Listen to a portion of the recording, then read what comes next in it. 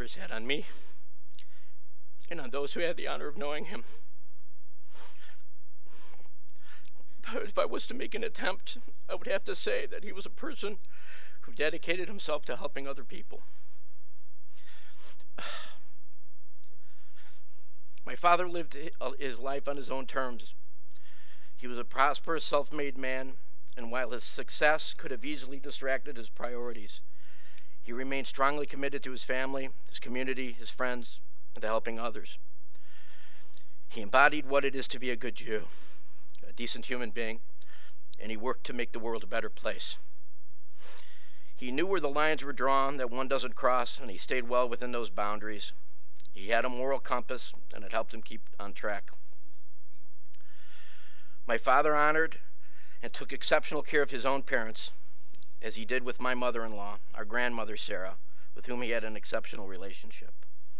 He sent her to Florida in the winters. He took her to dinner almost every week, and he made sure that she did not lack for anything. He was an active member of the same synagogue since before his bar mitzvah and stayed with them in all their moves and mergers over the course of his life, probably an incredible 80 plus years. He worked together with the late Rabbi Schur to raise the money needed to purchase the Masonic Temple building on Cedar Road, where they moved the Heights Jewish Center Synagogue from their location on Superior and Mayfield. The Heights Jewish Center Synagogue, oh, he served as the synagogue's president for many years, during which the time the congregation thrived. He remained an active member of the synagogue and was dedicated to its success to the very end. My father also served as chairman and as a key member of the cemetery committee for several decades. The work was difficult and taxing and required a special personality to get things done. There were always people who could never be pleased, but he was undeterred and he saw to it that the dignity of the deceased in the cemeteries under his care uh, remained upheld. In this position, it would often come to his attention that there were those in need, and he worked hard to make sure that everybody received a proper Jewish burial.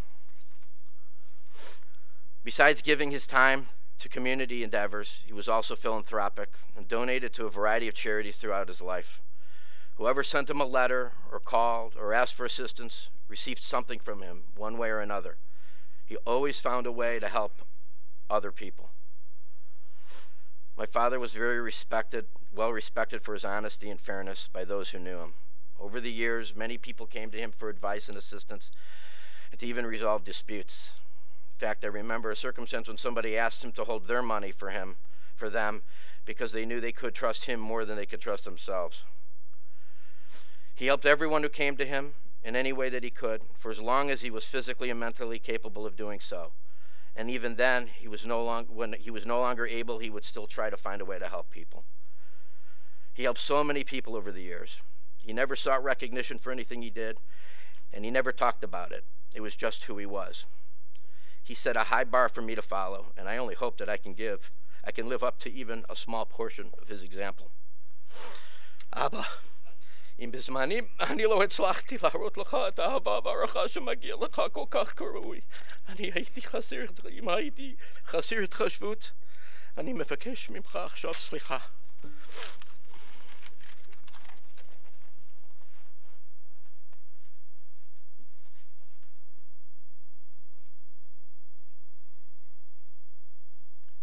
From Alex's granddaughter.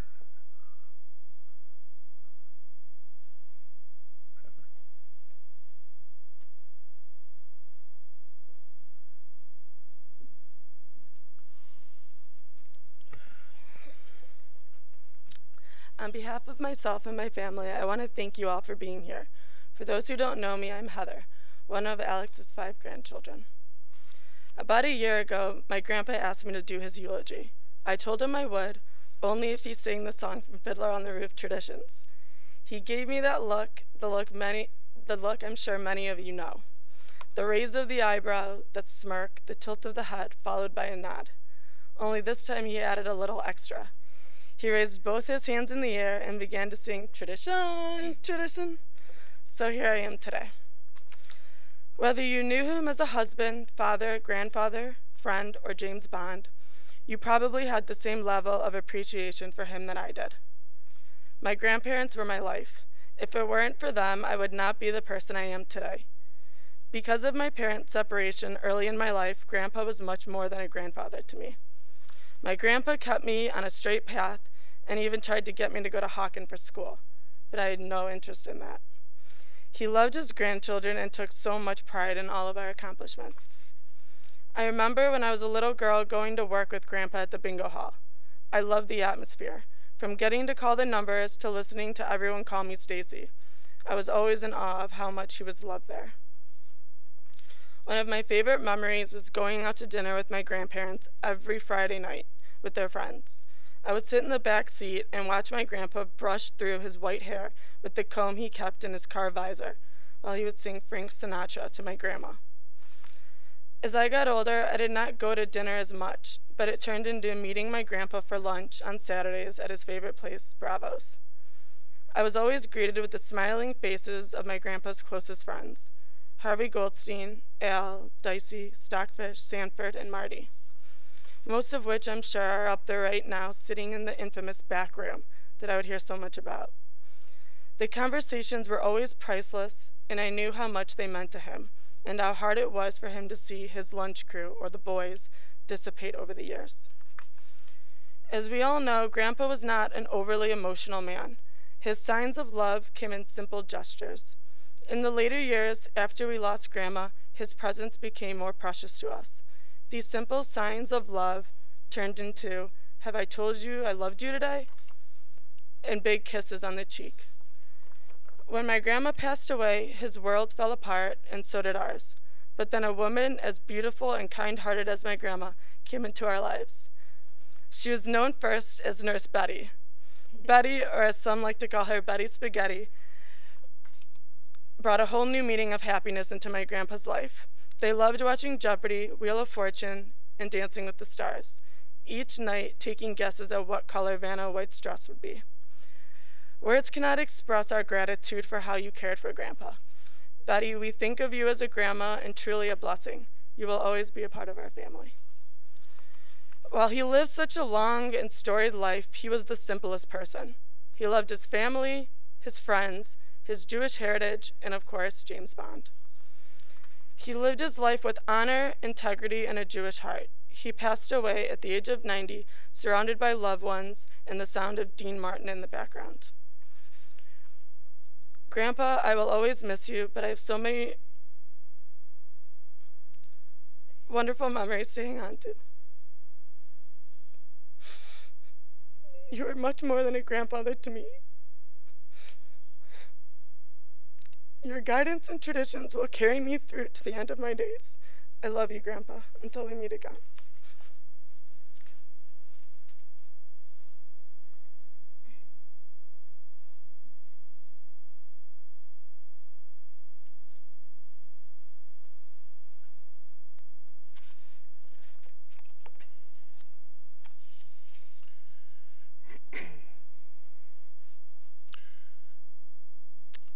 First yahrzeit of Rabbi Shur, exactly one year after he passed away, we had a gathering in our shul to mark that first yahrzeit, and wanting to create a sense of how much Rabbi Shur had meant to Cleveland, we invited the Av Beis Din, the head of the court, as it were, the chief rabbi of Cleveland, Rabbi Yisrael Grumer, to come to speak. He had known Rabbi Shur going all the way back to Yeshiva Torah in New York. They had known each other for a very long time. And it was a very meaningful occasion for us in the shul. And of course, I spoke, and Rabbi Grumer spoke, and then Alex spoke. And Alex had this relationship with Rabbi Shur going back so many decades that the two of them were not just involved as the leadership of the shul, with Rabbi Shur being the rabbi and Alex being this longtime president and fundraiser, but that they were all almost thought of as like two sides of the same coin. So imagine me coming in, you know, I'm the, you'll excuse the term, the young pisher coming in, and how is Alex supposed to look at me after he had this rabbi who was maybe the same age, a little older, a little younger?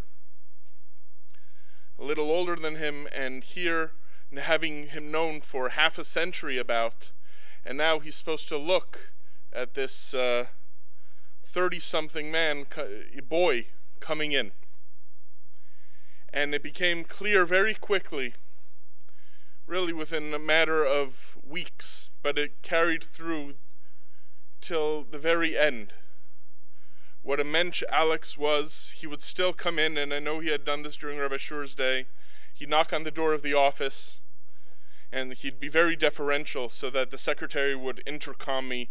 Mr. Adelman would like to know if he can come in to see you, as if he needed, you know, to be, you know, formal admittance. But he'd come in and he'd sit down and he we'd just schmooze for sometimes half an hour, an hour. And Alex, giving literally his heart and soul to the shul, was there in the shul in the office maybe four, sometimes five times a week because busy with the bingo game. So I'm saying besides for Shabbos, during, during the week, he'd come into the office to take care of business, count the winnings and the profits from the previous night. He'd spend time there. He was there with Mitch, and then he'd come speak with me and and talk with Lena. And it was really you got a real sense that it was his second home. And the questions were not the questions at first. I was trying to feel it out, trying to figure it out. What's the nature of these questions? And the reason why I was suspicious at first, and by at first I mean just for the first few days, is because the questions and the comments that he made were so expansive, so spiritual. They, they weren't just the kinds of questions like, How's your day? How about the weather? They were questions about God and Mashiach and the building of the temple and mitzvos and learning Torah. And he'd go on at length. And then I realized, like I said, after a few days, these things actually mattered to him. And as I, I told Neil and Lisa yesterday, one of the things that I admired so much about him and that I really saw him as a friend, even though he was so much older, is that there this this honesty about him, and we had this wonderful honesty of a relationship that I have to say reminded me of home, meaning of the Jewish community in Montreal, where I'm from. Because Montreal has this community, a, a large Jewish community, similar in size to Cleveland, where there's a large population of Jews who are basically what we would call Orthodox, except they happen not to be from, meaning that they are Orthodox. They would never imagine going to anything but an Orthodox shul. That's what runs through their veins. That's what the the the air that gets pumped into their lungs is all Orthodox. They couldn't imagine any other way. But they themselves, because of just life and the circumstances of their lives, didn't do that. But with him, there was an honesty. I was able to share that with him, and he would share that with me.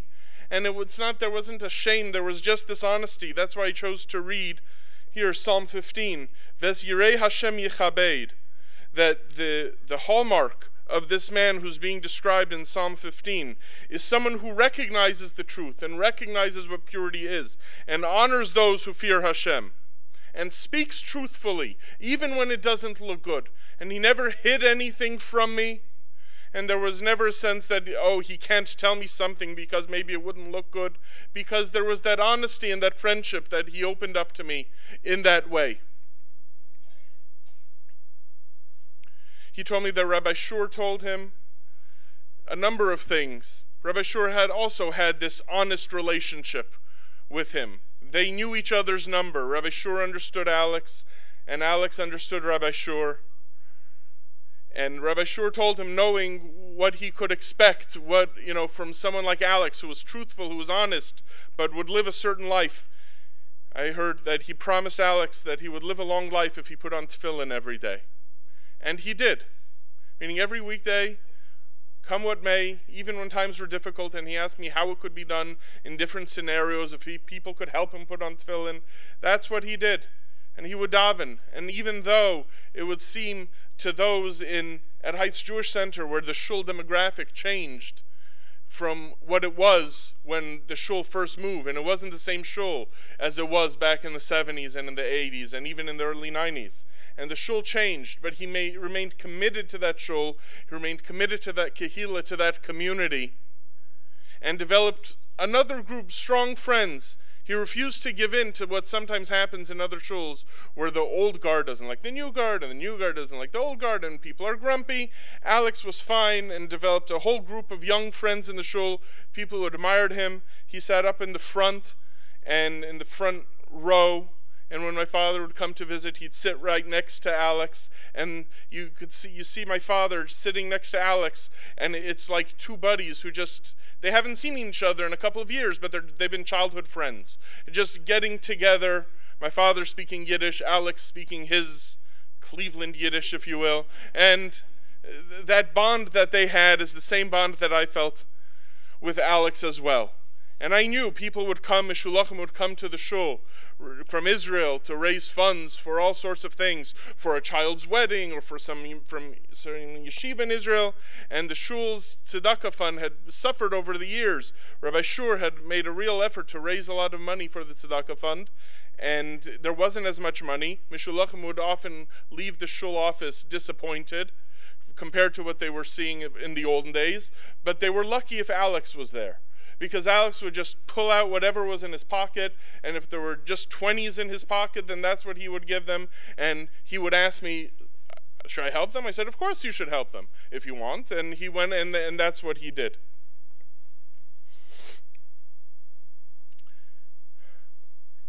He told me many times from my really my first day there how one of the things he was very concerned about was the cemetery. He put so much time and so much effort into the various cemeteries that the shul was involved in. And it was a it was it was it was fighting a losing battle because it was like trying to you know pour water into a bucket that has a hole in the bottom of it.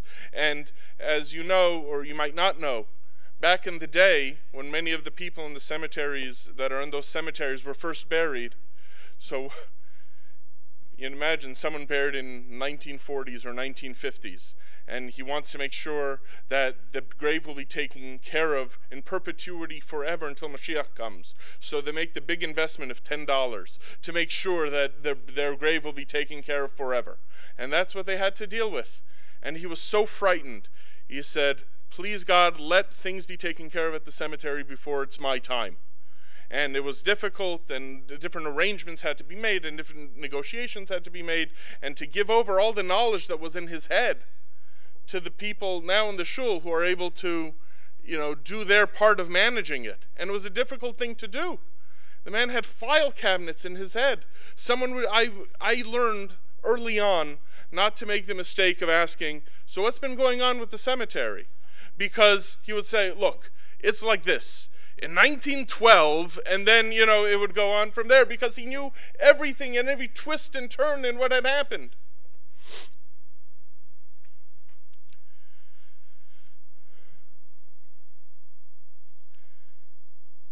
He admired the shul, he admired Torah and mitzvos, he admired the people in the shul. When he would come for either his mother or his father's yahrzeit or, or later Blanche's yahrzeit, he'd come to daven with us to say Kaddish. And again, there was this sense, this deep sense of, of respect and, and, and of admiration and of friendship shown to the shul. And if at times all the work that he did for the shul in you know the more recent years sometimes didn't bear as much fruit or were very difficult, then it wasn't difficult for, to forget that you just had to go back 10 and 20 and 30 and 40 years to realize that had it not been for him, there would have been no shul to begin with. And the shul now, all of us, we come in, we daven, and the sanctuary and the beis medrash and the aron and all the parts of the shul are named for people that the people right now in our congregation don't even know. We don't even remember those names. Alex remembers remembered those names, and he was able to connect us to that.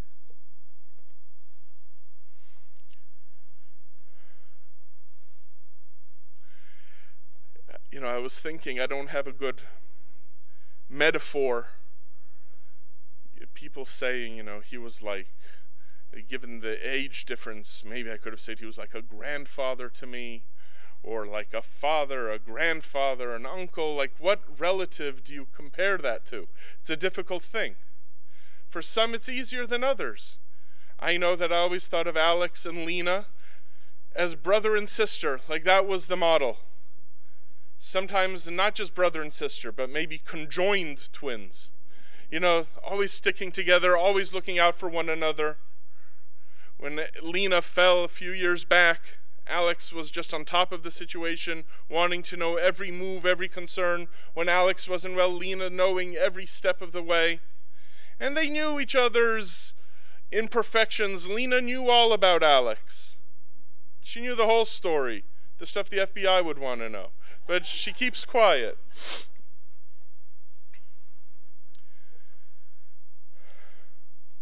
But I can't think of that relationship. The only thing I can think of, and as awkward as it is, and as funny as it sounds, but I d- I didn't think of him as a grandfather, I didn't think of him as an uncle or a father. He, he was simply a friend, and a very good friend, and a friend who got me, who was concerned about me, who would make sure and ask me frequently, Rabbi, just, just let me know, like, is everything all right? You know, meaning he wasn't involved in the day to day affairs of the shul anymore as he used to be, but he wanted to just make sure that I'm taken care of, that my kids are all right, and that my wife, uh, that every, that the family is okay. Constantly asking, constantly concerned. He had a tremendous love and pride of his family, tremendous appreciation for everything Betty did for him. He was so proud of Neil and Lisa, so proud of his grandchildren, he was so concerned for his daughter Stacy, who couldn't make it here, was in California, always mentioning her name, davening for her, telling me how much he cared for her, caring about his grandchildren constantly, worried about his grandchildren constantly. Because since there was a sort of space that even though I've met the kids over the years, but is the kind of thing where his shul life and his family life didn't always uh, intersect too frequently. Yet we got to know just through hearing him and how much he cared about them. I remember how proud he was when Harvey passed away. That uh, Neil uh, said Kaddish at, at the cemetery at the Levaya. And that's something that just generated a tremendous amount of pride in him that, that uh, you know, that Neil could do that, that he would do that.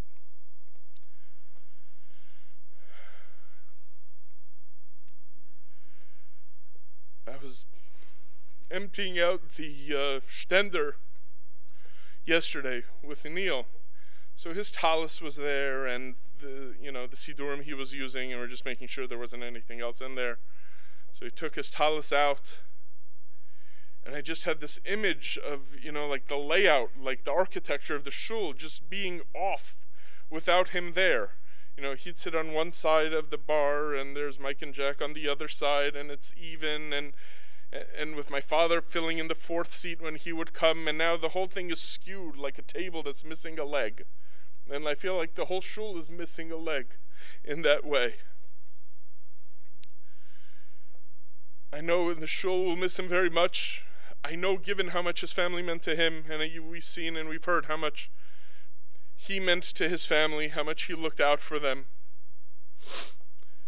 That I'm sure the memories that we have, the very vibrant memories, the very honest memories, will provide an aliyah for his neshama, that his soul can just go higher and higher, so he can derive nachas from his family, nachas from the shul he helped mold over the course of these many decades.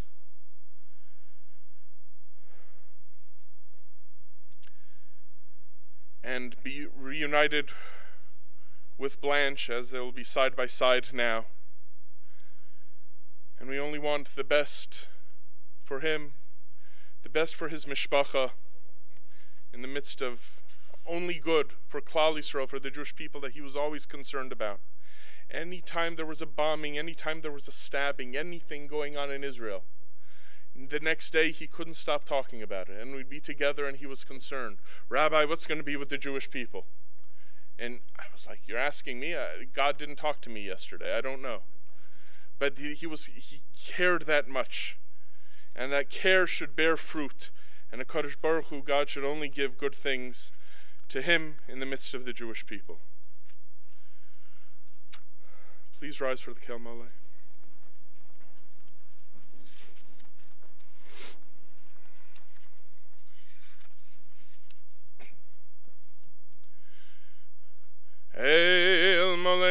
רחמים שוכן במרומים המצא מנוחה נכונה תחס כנפי השכינה במעלות קדושים וטהורים כזוהר הרוקיע מזהירים אס נשמס אריה לייב בן משה שהולך לעולמו בעבור שאנחנו מספללים בעד הזכורס נשמסו בגן עדן תהי מנוחסו לכן בעל הרחמים יסתירהו בסייסר כנפיו לעולמים ויצרור בצרור החיים אס נשמסו Adonai hu nachal asau,